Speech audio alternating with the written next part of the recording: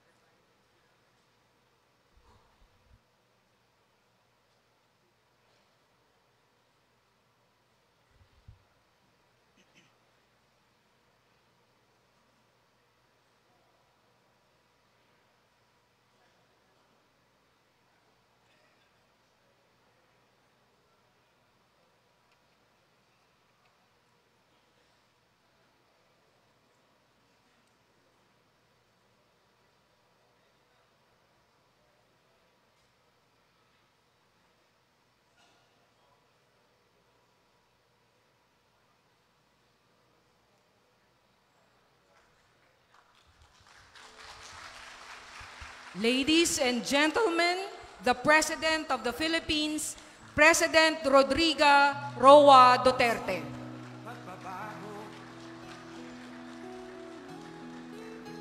Sawa na ang bayan ko sa magnanakaw na tapo.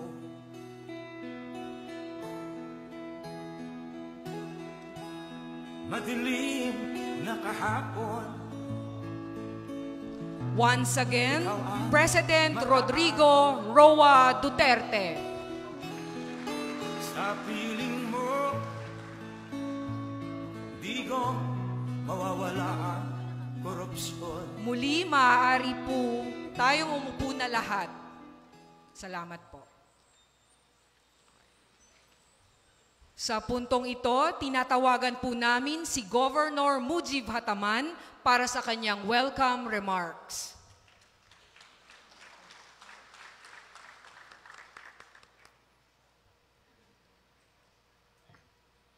Bismillahirrahmanirrahim. Assalamualaikum warahmatullahi ta'ala wal barakatuh. Sa ating mahal na Pangulo, Mayor Rodrigo Roa Duterte at ang buong gabinete na andito ngayon, sa chairman ng MILF at ng buong kasapian ng MILF, kay Chairman Ibrahim Murad Al-Hajj, kay Chairman Yusuf Jekiri at ang buong kasapian ng Moro National Liberation Front, sa ating mga kababayan, magandang hapon po sa ating lahat.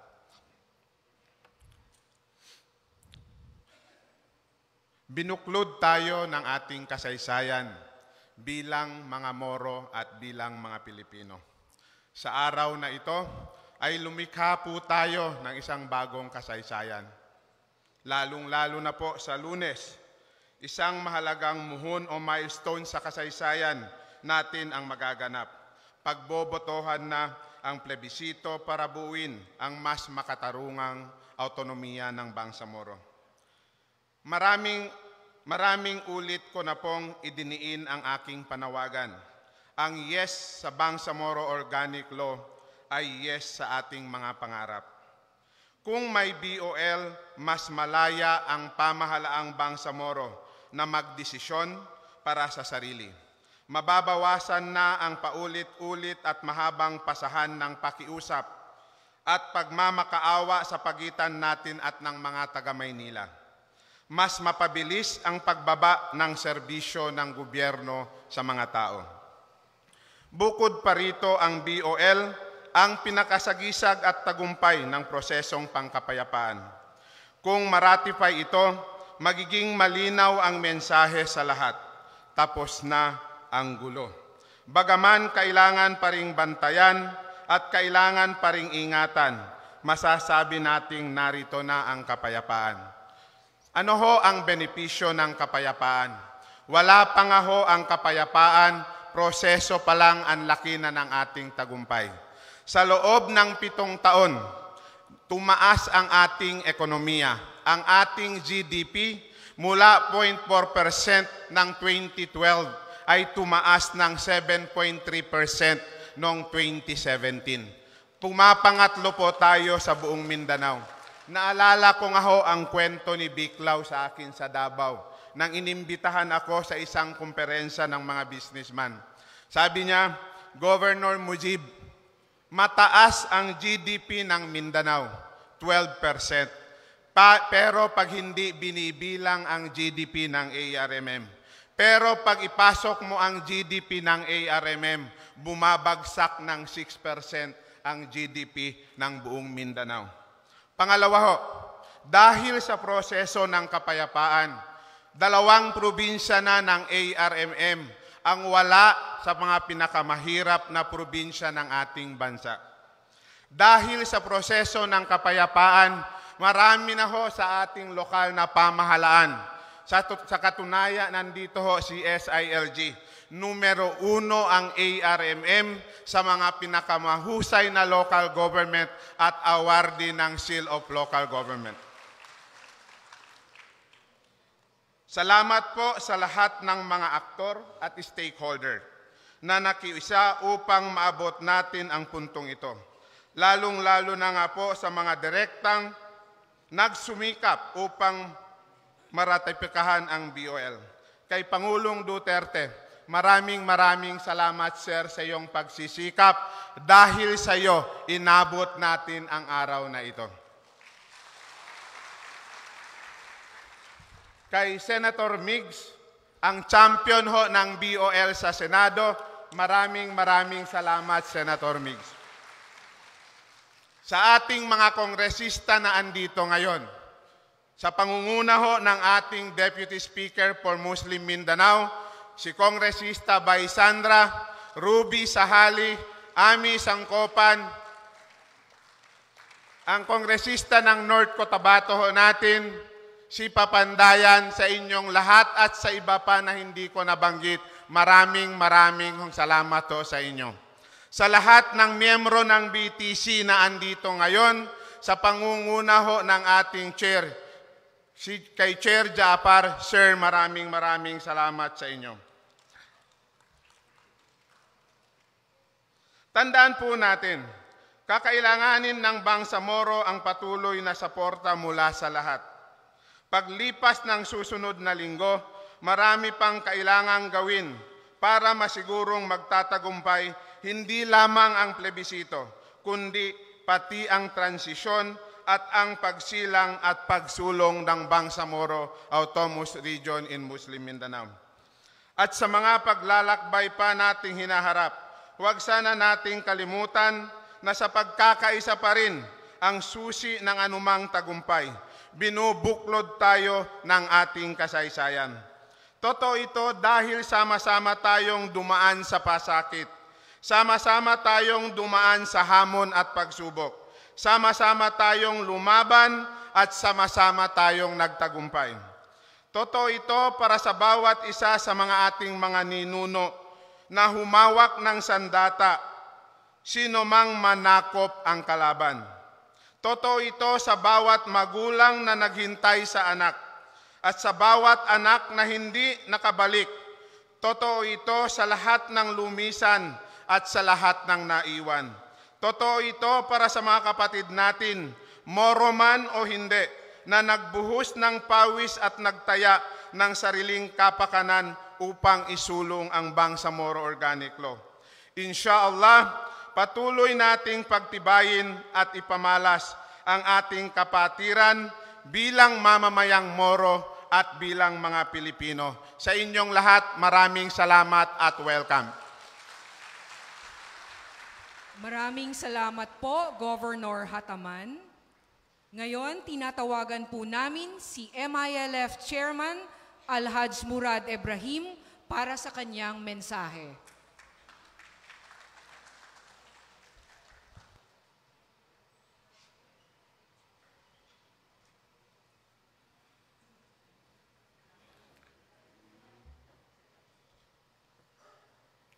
بسم الله الرحمن الرحيم الحمد لله وبه نستعين السلام عليكم ورحمة الله وبركاته magandang hapon sa inyong lahat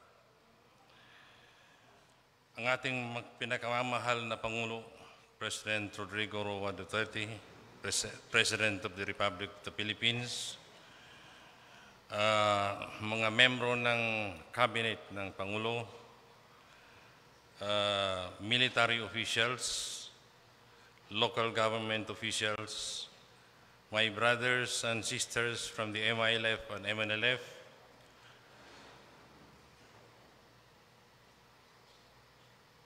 mga mahal na guests, brothers and sisters, ladies and gentlemen, Assalamu alaikum warahmatullahi wabarakatuh.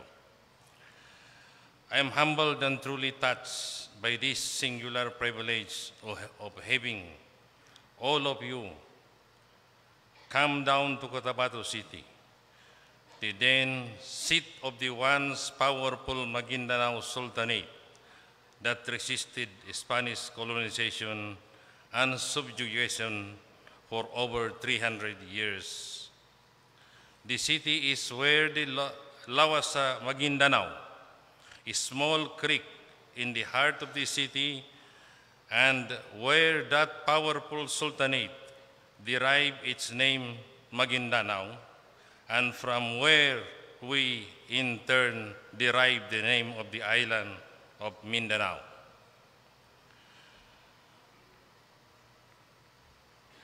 To our gallant mujahideen, as we transition from revolution to governance, from war to peace, and from bullets to ballots, we are truly grateful. We, we are truly grateful for all the sacrifices you have endured and today we have come at a time when we are at the finishing line of our struggle, inshallah. As we transition from this revolution to governance, our success lies on how we are going to mobilize our people and the other people of the area in supporting us in order to succeed in this next level of our struggle. We know that the challenges ahead for us is much greater than what we have surpassed in the past. It is not an easy job to transform from a revolutionary to governance. We know that many of us have never been in the government, but we, although we have been in the struggle for more than 40 years. But inshallah, with our persistence, with our continued effort in order to succeed, inshallah, with our people, we will succeed in the next level of our struggle, our jihad.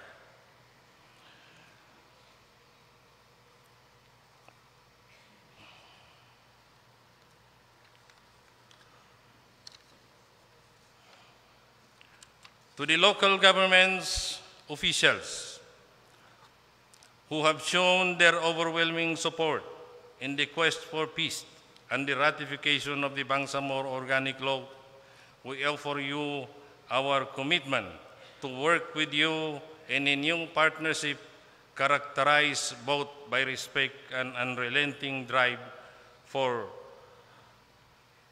so that together we can, we can bring development and progress in every corner of, the, of this region. To our brothers and sisters in the Christian faith, and other non-Moro indigenous peoples, we offer you the hand of peace and of mutual respect. Let us remain true to the teachings of our religion that foster brotherhood, love, respect, and guarantee of religious freedom and the free exercise of the same. Sa ating pong mga minamahal na mga kababayan, ang paganawagan po natin, tayo po ay magka, magkaisa, magsama-sama tayo. Lumabas tayo at bumoto ng yes sa January 21 at sa Pebrero 6, 2019 para mapabilang tayo sa milyon-milyon nating mga kababayan na naghahangad ng kapayapaan at kaunlaran. Ang boto ho natin na yes ay boto sa kapayapaan at kinabukasan ng ating mga anak. Hmm. To our dear President, mahal nating Presidente, Brother President, President Roa, uh, Rodrigo Roa Duterte, we cannot thank you enough for the courage and your unwavering support for the implementation of the peace agreement we signed with the government. We notice that you are always on our side at every critical stage of the process to see to it that the will of the people and the desire of every critical uh, uh, for, for peace of everyone is made reality. Siguro kung hindi kayo naging presidente, wala pa tayo ngayong BOL, wala pa tayong Bangsamoro government. Lubos kaming nagpapasalamat. Natatandaan ko pa minsan sinabi ninyo sa amin na kung hindi natin, hindi tayo mag-succeed ngayon sa panahon ko, siguro kailangan pang hintayin ninyo yung apo ko na maging presidente para mag-succeed tayo. So, mahal na Pangulo, hindi na natin siguro kailangan hintayin pa yon. Nandito na ngayon, i-deliver na ninyo sa amin yung, yung susi ng kapayapaan, susi ng kaunlaran, at uh, susi ng uh, progreso sa ating bayan at sa lahat ng bangsamuro at lahat ng naka, mga uh, uh, nakatira rito sa territory. Marami pong salamat, Mr. President. Thank you. In closing, let me appeal. Gusto kong manawagan pa rin sa inyong lahat. Alam namin na meron pa rin mga, mga sektor na uh, hindi pa rin masyadong nagpapakita ng suporta sa BOL. Nanawa, nanan, nananawagan tayo sa kanila na sana bigyan nila ng chance itong BOL dahil minsan lang itong dumating sa atin, siguro hindi na ito darating uli kung hindi natin paki, uh, hindi natin uh, kukunin ngayon. So, I hope na yung mga hindi pa, yung mga hindi pa rin sumusuporta ay makita nila kung gaano kaimportante yung kanilang suporta para sa ating kaunlaran. Ito hindi para sa MILF, ito hindi para sa MNLF, hindi para sa kanino man, kundi para ito sa atin lahat na nandito sa Bangsamoro at saka sa buong Pilipinas. So, marami pong salamat. Inaasahan namin magsama-sama tayo doon sa January 21 at February 6 para lahat tayo bubuto ng yes sa BOL. Inshaallah. Wassalamualaikum warahmatullahi wabarakatuh. Maraming salamat po, Chairman Alhaj Murad Ibrahim. At para naman sa ating pangalawang tagapagsalita, tawagin natin si MNLF Chairman Yusuf Jikiri.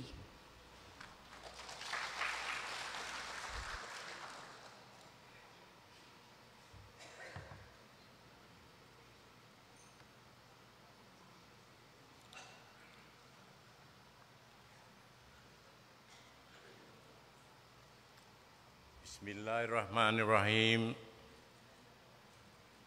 Alhamdulillah. Assalatu wassalamu ala Rasulillah. Mayor Rodrigo Rua Duterte, President of the Philippines, honorable members of Congress and Senate and the House of Representatives, members of the Cabinet,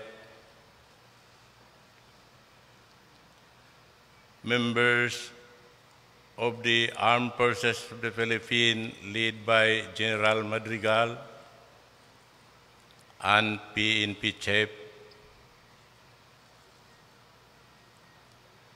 Brother Alhaj Murad, Chairman of IMILF, and the members of his Central Committee, members of the MNLF Central Committee here, here with us,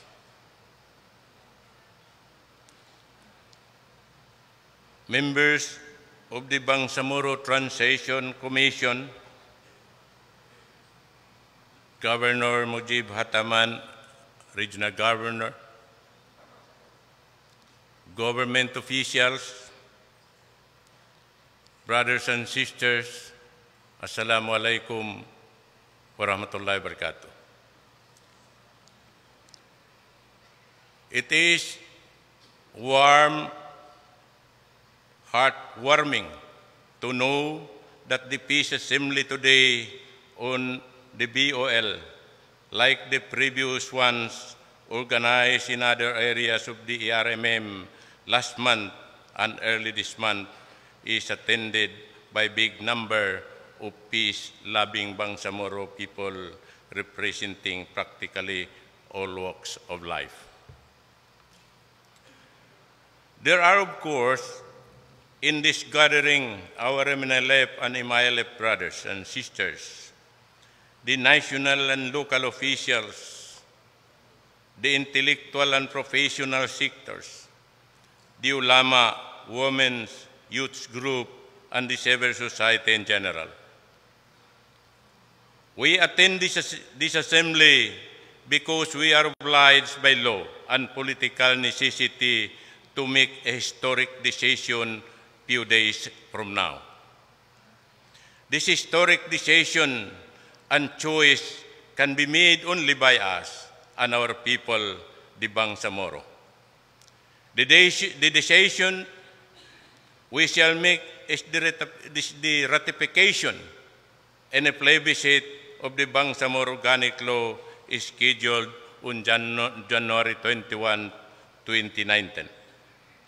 This new law will have a great impact on the lives and future of the Bangsamoro. It affords them with the opportunity to live in peace, progress, and development. Republic Act Number 10054, otherwise known as the Bangsamoro Autonomous Region for Muslim Mindanao. BOL which was signed into law by our beloved President Rodrigo Duterte on July 26, 2018. This law is supported by Congress and the entire Filipino people and now endorsed to the Bangsamoro people for ratification. All of us registered voters in the Bangsamoro areas should go out on plebiscite day to our respective polling places and cast our yes votes. The ball or bomb is not an ordinary law. I say this because BOL is the product of the 50 long years of the Bangsamoro people's struggle, a struggle involving great sacrifices of blood, sweat, tears, and great amount of efforts and resources. The struggle is led by MNLF and IMAILF. They are the vanguards of the struggle and the Bangsamoro people. The BOL is the convergence or harmonization of all the four peace agreements signed by the MNLF and the MILF with the Philippine government. It may interest us to ask the important question why the convergence of the four peace agreements of the two Moro fronts. There was a good and compelling reason why the four peace agreements of the MNLF and the MILF were converged and harmonized under the common mechanism known as the Bangsamoro Basic Law that eventually resulted to the legislation of BOL by Congress last year. Few years ago, the Organization of Islamic Cooperation and its series of resolutions called on the MNLF and the MILF to work together to protect and preserve the gains of the peace agreements. It advised the two fronts to work for a common mechanism through Bangsamoro Coordinating Forum. With this advice, the MNLF and MILF continued the efforts to bridge the difference from the best interests of the Bangsamoro people. Clearly, the BOL is the bitter roadmap of the convergence formula.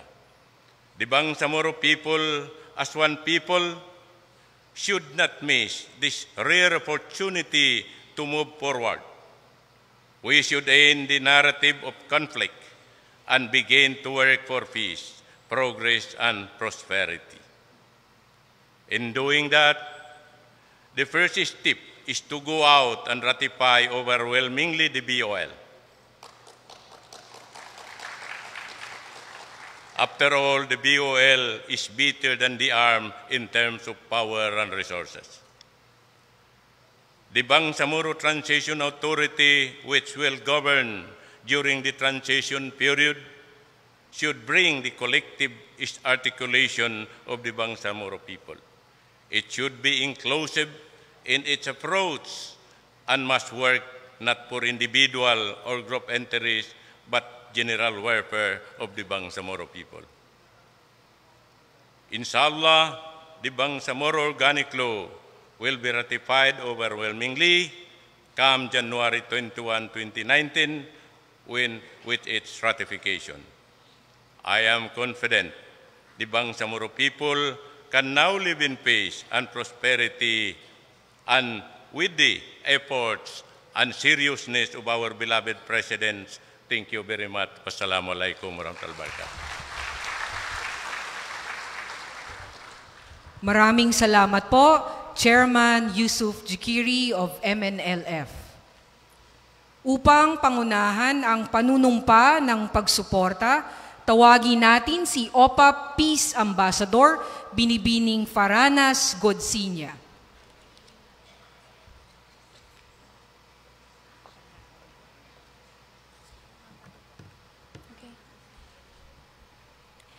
Bismillah ar-Rahman rahim In the name of God, the Lord of mercy and the giver of mercy, sa ngalan ng Diyos, ang pinakamawain. To His Excellency, our President Rodrigo Roa Duterte, to our esteemed Senator Zubiri, to our Honorable Spokesperson Panelo, to our distinguished secretaries, to the chairpersons of the MILF and the MNLF, and the BTC, to Governor Hataman, to our local officials, and to everyone here, Assalamu alaikum wa rahmatullah wa barakatuh, o pagbati po ng kapayapaan sa inyong lahat. Ngayon po, sa tulong ng ating presidente at ng kanyang mga kaakibat, narito na po at hinahandog po sa atin ang Bangsamoro Organic Law. Ngayon po, nasa kamay po natin ang pagkakataon na magsimula muli. Opo, matagal po tayong nalugmok sa kahirapan at kaguluhan. Pero ngayon po ay binibigyan tayo ng pag, pagkakataon na bumangon muli. Para po sa pangkalahatang Bangsamoro, sa aming ginagalang na mga nakakatanda, sa aming mga magulang, ang inyong pagboto po para sa Bangsamoro Organic Law, when you vote yes for this, ito po ay pagboto hindi lamang po para sa inyo, kundi para rin po sa amin, ang inyong mga anak at ang inyong mga apo. Tulungan niyo po kami na magkaroon din ng isang maganda at ang isang mat- mas matatag na Bangsamoro, isang mas matatag na kinabukasan. Para po sa mga kapwa ko Bangsamoro, mga kapwa ko kabataan, to my fellow youth and young professionals, go ahead and claim this right to vote yes to BOL. We don't know when we will have another opportunity to present such kind of change for our region, to realize this type of genuine development, peace, and progress for our region. So vote for peace, vote for unity, and vote yes for the BOL. And with that, we will already start to give our pledge for the Bangsamoro Organic Law. Please stand up and raise your right hand and repeat after me.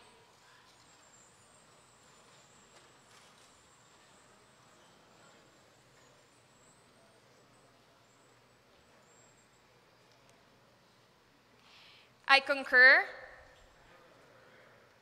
that the enactment of the Republic Act number 11054 That the enactment of Republic Act Number 11054 or the organic law for the Bangsamoro Autonomous Region in Muslim Mindanao or the organic law for the Bangsamoro Autonomous Region in Muslim Mindanao will give us the opportunity will give us the opportunity to exercise meaningful governance to exercise meaningful governance and genuine autonomy and genuine autonomy through the establishment of the new Bangsamoro government. through the establishment of the new Bangsamoro government. I commit to our quest for peace I commit to our quest for peace through taking part in an honest, clean, and orderly plebiscite, through taking part in an honest, clean, and orderly plebiscite which will reflect which will reflect our collective sovereign will through the ballot. our reflective sovereign will through the ballot. For peace, unity, and progress, For peace, unity, and progress, I'll vote yes for the Bangsamoro Organic Law. I'll vote yes for the Bangsamoro Organic Law. Maraming salamat po. Thank you. Maraming salamat, Binibining Godsinya. Sa puntong ito, malugod po naming inaanyayahan ang kalihim ng Department of National Defense, Secretary Delphine Lorenzana, para ipakilala ang ating panauhing pandangal. Mga kababayan, ang ating pinakamamahal na Pangulo, President Rodrigo Roa Duterte.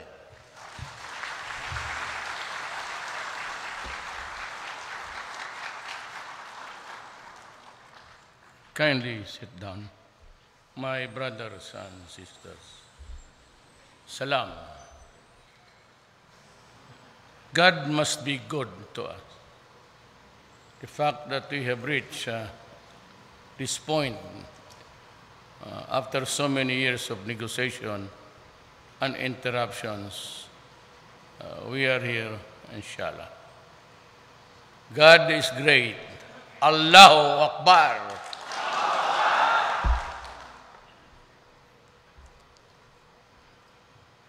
Talaga, kung wala si Allah, mahirapan tayo dito. fact that we were able to go to Congress uh, smoothly with the minimum of uh, objections, and especially those who are not from Mindanao.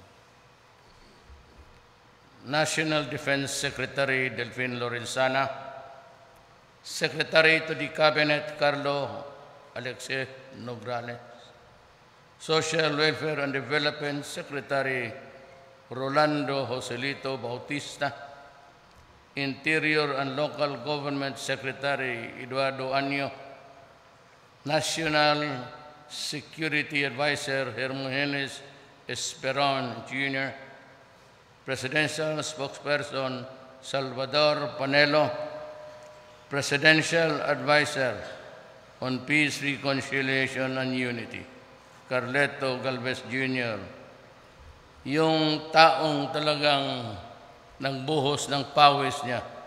And we were in constant touch all those months of uh, fighting and wheeling, dealing in Congress. And there were times when we thought even that uh, it would not uh, maybe approve on time. Not that it will not be approved, but on time, as I have committed to my Imanef Murad. Sabi ko, we'll try to make it uh, in January or February. But uh, God was there all along. The honorable members of the House of Representatives, Autonomous Region for Muslim Mindanao, Governor Mujib Hataman, Moro Islamic Liberation Front Chairman Al-Hajjaj Murad Ibrahim. Uh, it's the second time. Means to say that you're really very important. Dalawa dito, eh. Moro National Liberation Front Chairman Yusuf Jakiri, mga kasama ko sa gobyerno, mga kapatid kong Moro. Uh, first of all, though he's not here, but still he's uh, a critical factor in the overall process of not only Mindanao but the Philippines. And I refer to uh, my good friend, whom I respect very much also, uh, Nur Miswari. I hope to talk to him in the coming days as we agreed. Sabi ko, hintuin, uh, tapusin muna natin to. Hintuin natin yung atin. Then again, we can resume after the Bang Samoro. Uh, I would call out to him, extend my hand in friendship and peace, and I hope that we can strike an agreement that will also promote the interest of the MNLF and the rest of the Moro of Mindanao. Three days from now, the people of the present autonomous region in Muslim Mindanao, Cotabato City, Isabela, and parts of Lanao del Norte and North Cotabato will exercise the right to vote. In a plebiscite that will not just address the injustices of the past, but also plot the course towards a brighter and more punishing future for Mindanao. You know, all of these things came about because of subjugation and the colonialization of the rest of the world by the Western power. Kung tayo lang at hindi tayo pumasok dito ng mga banyaga, wala tayong problema. Sa totoo lang. Because we are all Malay. And even if granted there is new religions sprouting up, we would have just easily agreed by the means of our bloodline the way that we solve the problem. I know, you know, that we were not fighting Filipinos then and now. This is a repercussion, actually, of that problem when we were divided as a nation simply because foreign powers took over Spain for almost 400 years and the Americans for 50 years. I just don't know how to say it, but we did not really die for the sins of people who are not Filipinos by the Malay blood. Hindi naman talaga kailangan sana. But then again, we are left to this problem. And as much as possible, we should limit the bloody fight. For alam natin na hindi talaga natin ito kasalanan. But you know, dumating tayo sa ating generation, ganito na. So we're trying really hard to figure out, craft a law or whatever, amend the Constitution that can provide a fair and just governance for all. Nobody would like to take over lands that is not theirs, his, and we understand that. And we would like you to have the control of your territories before the Spaniards came and before the Americans came. Alam namin yan. Alam ko yan, estudyante rin ako. At alam ko kasi ang minudo ko. Ayun man ang sinasabi sa akin noon. Kung di lang sila pumunta dito, wala naman talaga tayong problema. And yet we are forced to kill now needlessly because you want something. And I hope that address to my beloved friend Normi Suarez, that we can also talk and come up with something that could come to the barest minimum para lang makuha natin yung a peaceful Mindanao. May I guarantee you that there will be the least disturbance or interference kung meron nandiyan workable governance inyo. Lands are distributed fairly, justly, resources divided by the Moro who are there in possession of the land.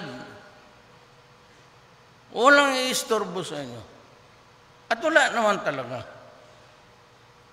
The legendary Liguasan Mars, they say it will provide so many things in life. O di, inyo. Wala naman tayo. No, no one ever attempted really to intrude into that territory. Maybe we can finalize it. Alam mo naman dito, pag presidente ko, the highest incidence of hunger. Kaya inuna ko na sana, ano, kay, uh, ano pa noon, Tagiwalo. At Tagiwalo, tag, Judy Tagiwalo, was only taking care of the needs of the NPAs. Pati yung pera pantawid, most of the envelopes that uh, where the money was uh, being placed, nandoon sa mga kampo ng... So, one palpak to another, it's really very hard. Now, you know, you have dealt with the military. Ito, trabahante lang to. No personal agenda. They go out there and work at tapos sundin yung order ng mga political officers ng gobyerno. Kasi ganyan man talaga mag-umpisa. Much as we would like to change anything there, pati yung atin dito, we've been used to it. We are a people governed by elections and we elect leaders. The leaders must be the choice of the people. I am sure that with that uh, uh, the fundamentals provided by the law, and hopefully, if we can amend the Constitution, not all, but a few of the economic provisions.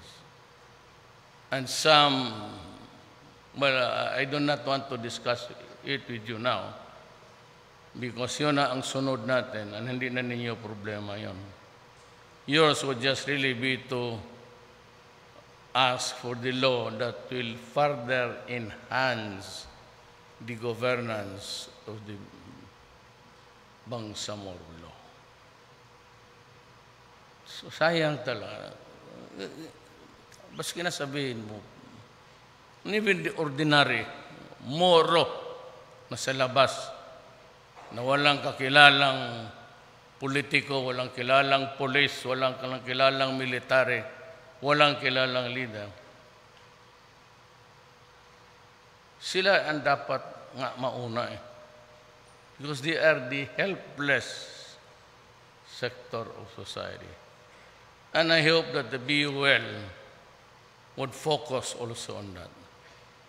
That a man, whatever his religion may be, he is entitled to his place under the sun.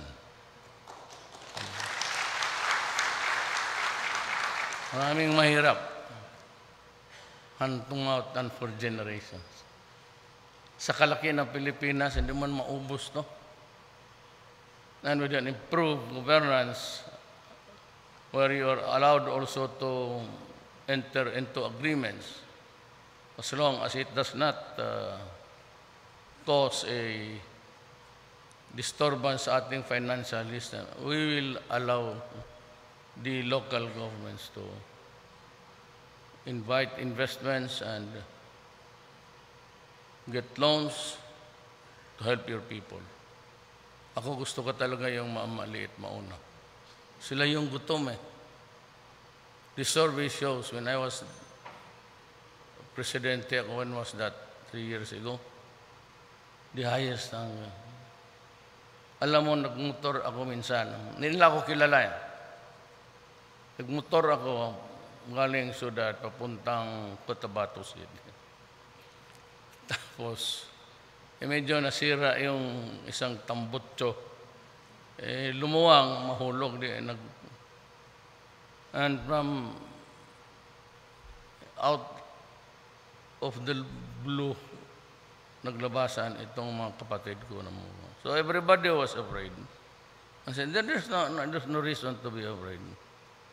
I just here to look at something. And maybe if you can spare food, Huwag kayong matakot na suddenly they will just materialize there. Walang trabaho. Walang pagkain. No, no, no relief in sight. Kaya kung kinausap ko, anong, ano na? Wala. Puro wala, puro wala. Pagkain. Kamuting kahoy, anak ka. At this age, umaabot ng sa buwan yung itong mga westerners. Tapos may mga muro pa na hanggang ngayon kamuting kahoy lang. Di ka natin even till the land. Kasi kung may land man, but ang land reform ko, pati dito, I don't mind if it's your territory. I will let uh, the land reform to take place. Kayo man ang mag, maghati-hati. But I will be there to help you. Yung abono, yung seedlings and all. Until such time that uh, the Bangsamoro territory will prosper. Then, by that time, I can really say that we have come to age. That was not part of my written speech. Just trying to express to you my sentiment.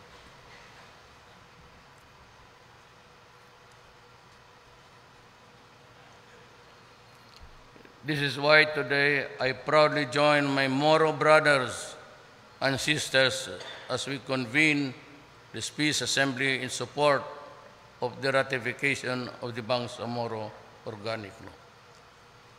Your approval of this law will not only serve as an expression of your desire to end more than half a century of armed struggle in the region. It will also serve as a testament to your determination to bring genuine peace and development in Muslim Mindanao through an autonomous government that truly represents and understands the needs of the people. alam mo, nung nagkampanya ako, I visited Cebu. So, nandun ako sa mga statues ng mga... Tapos, nakita ko yung estatwa ni Magellan, masyadong malaki.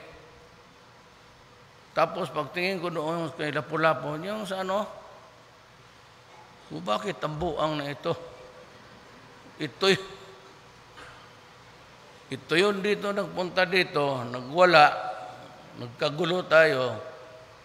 Ang monumento niya, mas malaki pa doon sa pumatay sa kanya. Yun ang matapang.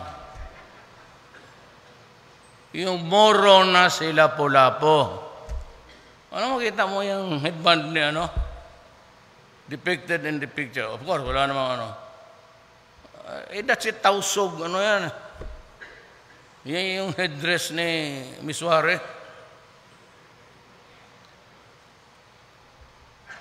Kaya nung, alam mo, nung when I was uh, a congressman, uh, mayor, I was uh, with a grieving heart. Kasi, andito naman itong mga taga Luzon, itong mga taga Bicol, aba po, walang, walang hero na labas sa Luzon. Puro, what, no, walang problema. Gregorio del Pilar, Juan, ano, Ga- galit rin sila sa mga banyaga. But ang napili nila na hero, puro Tagalog, Ilocano. Eh, Ilocano, matatapang rin yan. Ang ating warriors dito sa Pilipinas, well, the Moro warrior, Tausog. Ah, hindi ako believe dyan sa mga pero yung mga abusaya, you know, hindi talaga natin ugali yan. You do not kill an eight-year-old boy because of no ransom paid. Diyan ako, hindi, tsaka na, ano, it, it would take maybe one year for me to talk to them para ma, because I do not simply like the idea of cutting heads of people, innocent people. At, Pati yung bata na kinidnap na hindi naman. Oh, what's the fucking sense of doing it? It is not, huwag nila akong gulahin. ah, there is a part of me which is Islam actually. Kaya kung mag-away-away kami ng mga buang na pari na yan, ah, hindi mo na ako katoliko. Islam man, ah, totoo. Mga simba lang ako dyan. No? Ah, sa Ateneo, sa San Beda, eh, pwede kami po, mara, karaming muro namin dyan sa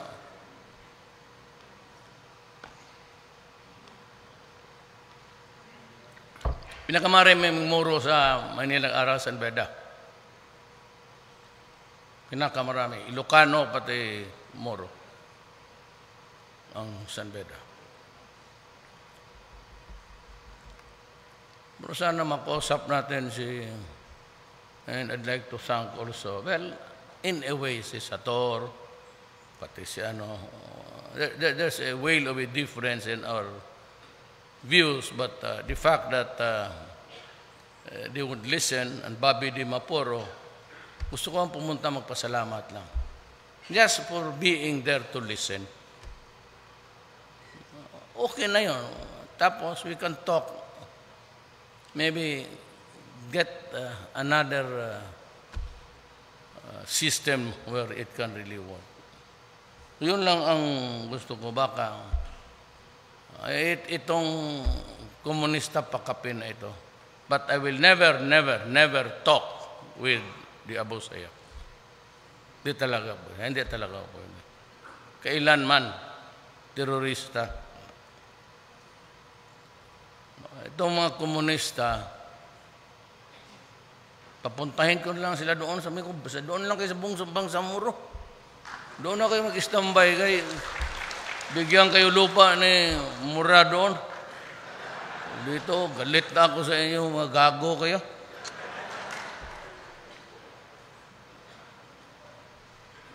As the centerpiece legislation of my administration, the BOL has been the product of a long and rigorous process that involved meaningful and exhaustive consultations by one another and for all of us here who are concerned. We listen to the indispensable sentiments and concerns of Muslim, Christians, Lumaj, and other indigenous peoples and various stakeholders who also call Mindanao their home. And rightly so. Saan man tayo papunta? Saan mo ako pauwiin? Hindi naman ako si Buano talaga. Tatay ko nagpunta dito sa Mindanao. This landmark law was not built entirely from scratch. It echoes the aspirations and principles embodied in the past peace agreements with different Moro fronts. Indeed, it is a product of the blood, sweat, and tears of many great men who came before us. I'd like to remind you of the 1972 campaign. It was bloody. And what, was re- really lacking there was just a plain and simple, constructive conversation. Sayang yung panahon na. I was a prosecutor then. Mag makikita ko yung both sides. Pati yung bakbakan dyan sa PC Hill. Talagang walang kwenta-kwentang away. This just can be resolved by just talking. You know, just to raise the the spirit, the soul of a Moro. Ah, pagka-presidente ko, di nagyaw-yaw ako. Sabi ko, lahat ng hero inyo. Ngayon, presidente na ako, amin na naman. So, sa unang ginawa ko, the order of Lapu-Lapu. Lahat na sundalo, kay Mahuluhano, kay Maranao, kay yung taga Davao, pati yung lahat. Mga sundalo ko na may tama, medal yan. Ak ako ang nagbibigay ng sarili kong medal. Aside from the government, yung sa military. Mayroon sila mga valor, yung talagang extreme courage. Marami rin yan sa MI pati MN. Mali, wala lang panahon magseremonya kasi sige man takbo. wala man silang kampong mauwian. No, magagong ka pa doon, doon, doon celebrate. Kasi kung hindi, isali ko sila. Baski na tamatamaan lang yan dito matusok ng bala. Kayo, kayong matagal na sa away. Matamaan ka lang ng tamtak, anak ng witing. Aray-aray ka na dyan. Kaya pambala. Wala sa akin. I'm telling you, hindi lahat na ano, eh, sabihin mo, kristyano, marami ring mga muro nandyan sa armed forces. And I simply love them. And I, I really care for them. Nagpunta ako doon sa oh, sa doon sa Hulo, sa ospital, sa autista. Mayroon doon uh, sugatan. Tapos, ang una kong tinatanong, kasi pamilya eh, kasi kung mabiyudo o mabiyuda, ilan ang problema natin maiwan? Because it does not end in the death of a soldier or policeman or a warrior of the MI or MN. Hindi natatapos yan dyan. The next crown dyan is paano mo na buhayin ang mga bata, pakainin, education, and all.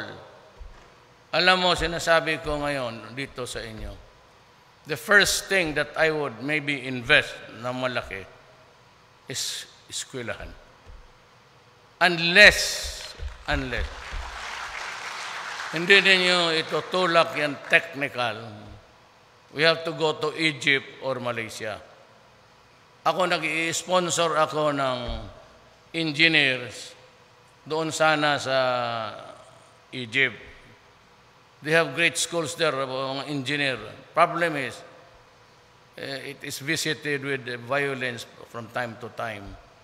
So I decided on Malaysia. O dapat sa inyo, ang una talaga, huwag na yan masyado yung batas kasi magkaiba ang Sierra law. Maybe in the next few years, uh, you will call for a talagang uh, Sharia law ang gusto ninyo. Uh, okay man sa atin yan. It's, it's a freedom of religion. As long as there is that tolerance for each other's religion. Walang problema. If you are not under the jurisdiction of the Sharia, then you go to the civil courts. That's, that's really no problem. Oh. I am proud to say that the BOL has undergone comprehensive analysis and thorough review to ensure that once implemented, it will lead to better governance, inclusive political empowerment, and enhanced systems of transparency and accountability. To my dear Bangsamoro brothers and sisters, as you exercise your sacred right to vote, this plebiscite, I remind you that the power to chart the course of your future is now solely in your hands. Exercise this right with utmost care because the future of succeeding generations depend on it. By the way, before I forget, uh, uh, ano kasi na, na, nasingit dito, okay lang. Sir, Senator Mig Subirio was not mentioned a while ago during your greeting. Wala, sinabi ko yung hero dito. Yung blood, sweat, and tears ka na. Tayo nga nagtatawagan. Eh. Well, the, you know, well, the, but it was being passed. Hindi lang kasi kami mayabang. Sa totoo, ako, ako ang isang tao na I do not want adulation. Ayaw ko. Ayaw ko yung mga yung it was supposed to open on that day sa kita ko doon, salamat, Presidente Duterte. Sabi ko sa police military, tanggalin na yan. Hindi ako pumunta. Kasi para sa akin, bayad na ako. So I do not need the clapping of the hands. I've been mayor for 23 years, congressman for one term, vice mayor, the Inday one term. Nagmumotor ba si Inday dito? Walang ginawa yun, eh, magmotor. Ano, o, alam mo, Senator Subere, ako na mismo, paliitan ko yung tangina yung si Magella na yun. Medyo gawaan kita ng taas-taas. Pero kulayan kita ng medyo maitim, pati yung ilong mo babaan ko. Kasali ka sa ano eh, invading forces. Mga katsila. Biro.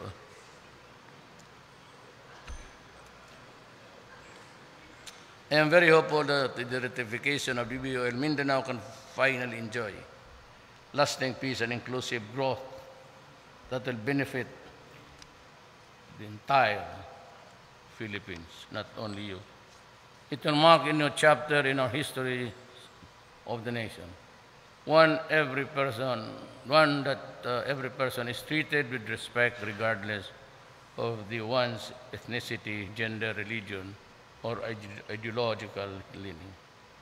I am therefore issuing this call to my fellow Moro, let us use the plebiscite as a peaceful means to finally correct the historical injustice committed against the Moro, Bangsamoro people, or the Moro people of Mindanao.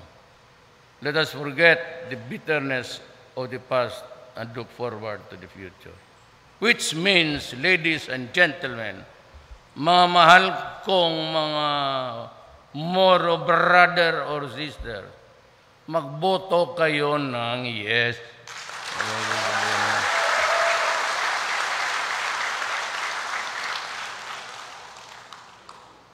Eh, pag hindi, hindi na magpunta dito kailanman. Doon lang ako sa Lanao. Sige man ako sa Lanao. Together, let us take this opportunity to begin the process of healing, reconciliation, so that one day we can embrace each other as really brother and sister Filipino with uh, a, a, a view of intolerance in all, understanding, and take the new world uh, on its totality. Ano ang kaga? Maraming patayan every day. So, so we, we must insist violence. We must insist against violence. No, araw-araw na ito, it could be baski saan. Ang masakit, it's all in the areas of Arabs who are Muslims.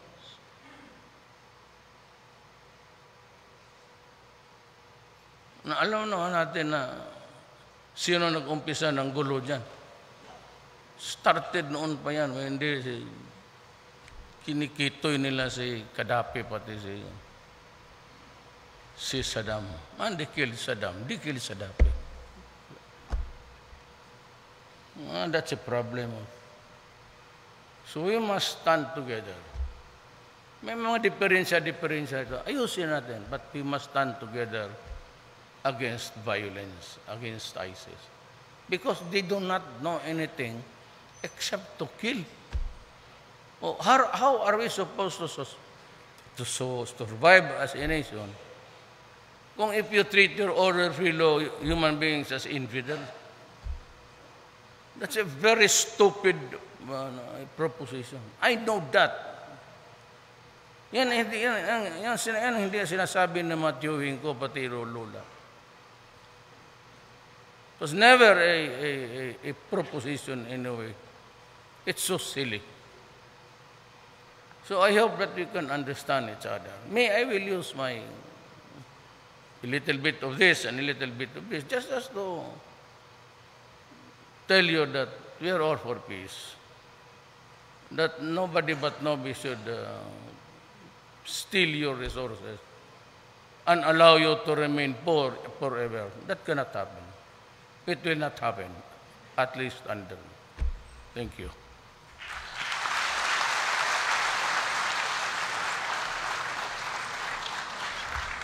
Maraming salamat po, mahal na Pangulo.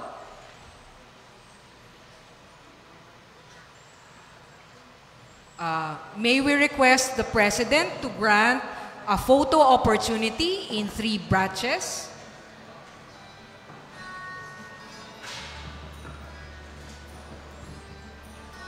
Uh, batch 1, please prepare, including ARMM Governor Mujib Hataman. Batch 1, please come up the stage.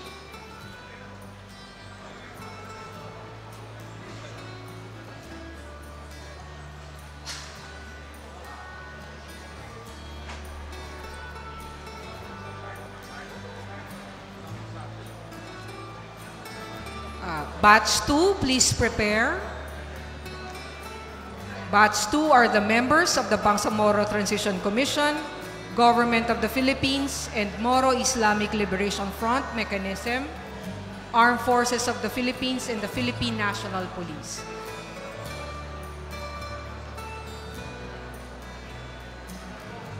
Batch 1 po.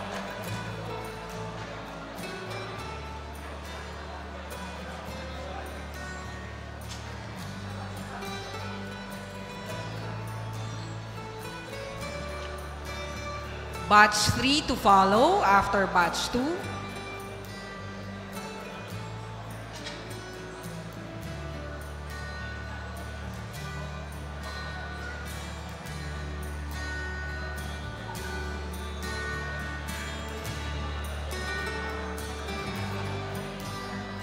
Okay, thank you, Batch 1.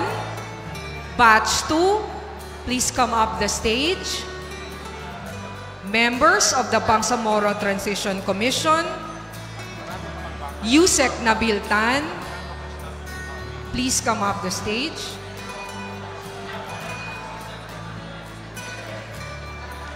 Please, we are reminding you of no selfie rule.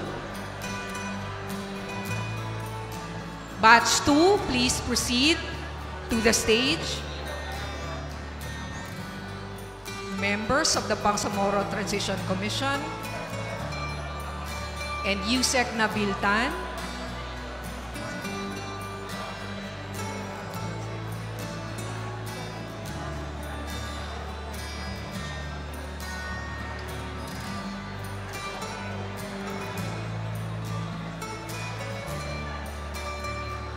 We are also calling uh, the members of the Armed Forces of the Philippines and the Philippine National Police. Sir, kasama po kayo sa Batch 2.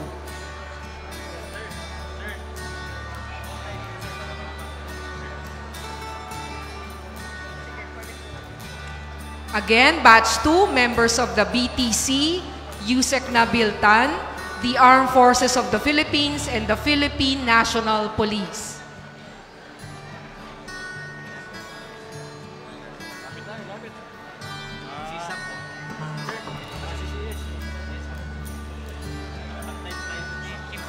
Okay, nakaayos na po sila.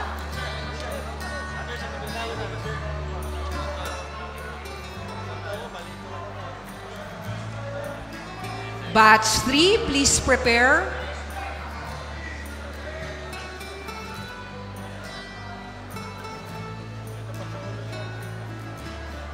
Kasalukuyan po ay batch 2 ito.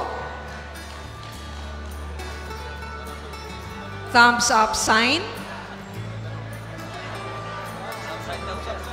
Okay, thank you po sa batch 2.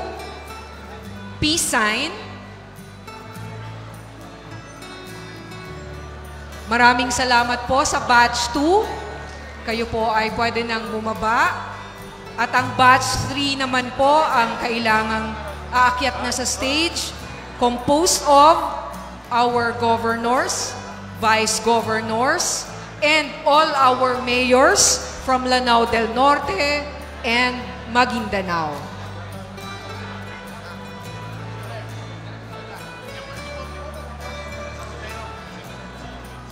Again, batch 3, the governors, the vice governors, the mayors of Lanao del Norte and Maguindanao,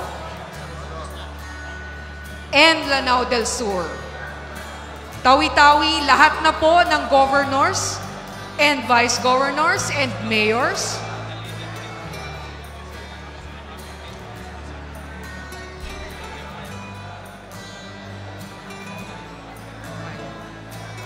Ayan, so nagpe-prepare na po ang batch 3.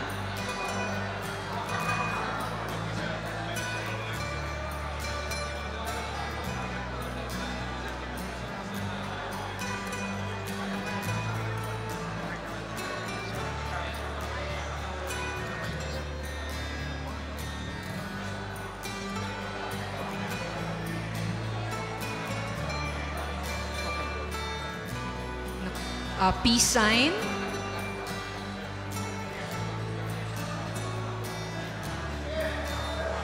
Thumbs up sign.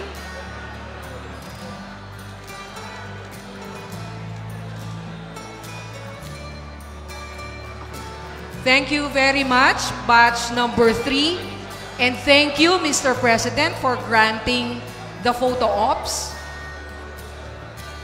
This ends our program. Maraming salamat po sa lahat ng dumalo. Salamat sa BTC, sa MILF, sa MNLF.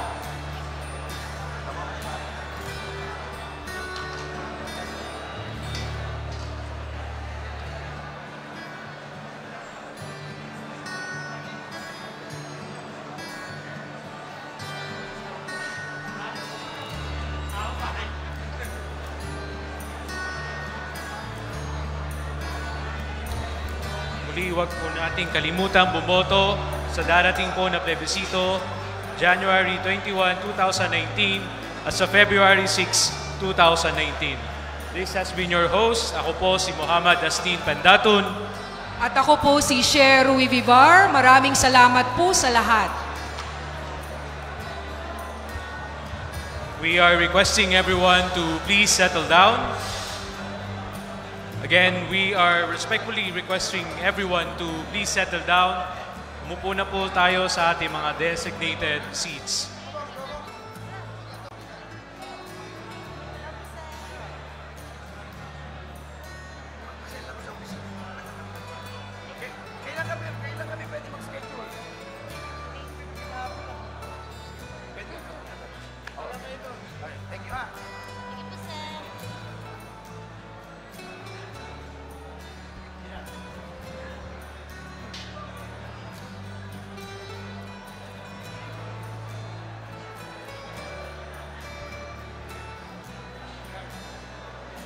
Again, we are requesting everyone to please settle down.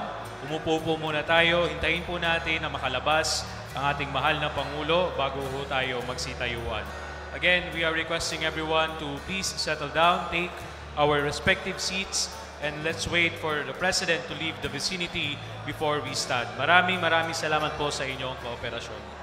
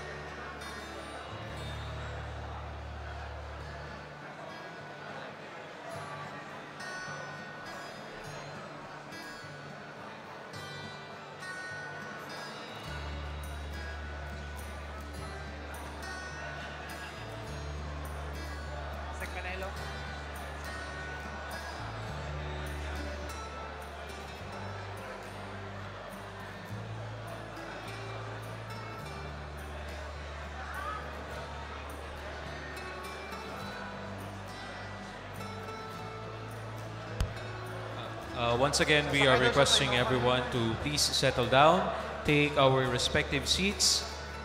Muli, yung mga amin pong minamahal na mga bisita, mangyari po lamang ay umupo po muna tayo, hintayin po natin na makalabas ang ating mahal na Pangulo bago ho tayo magsitayuan.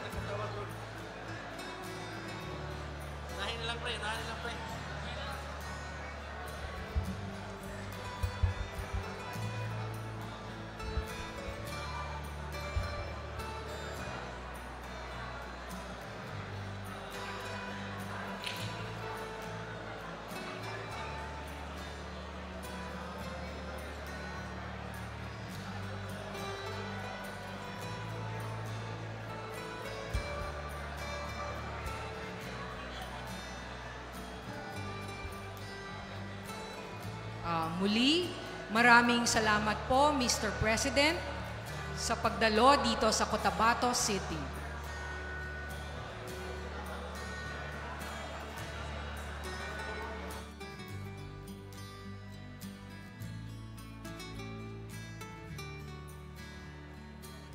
Ah, thank you po, Mr. President. President Rodrigo Roa Duterte.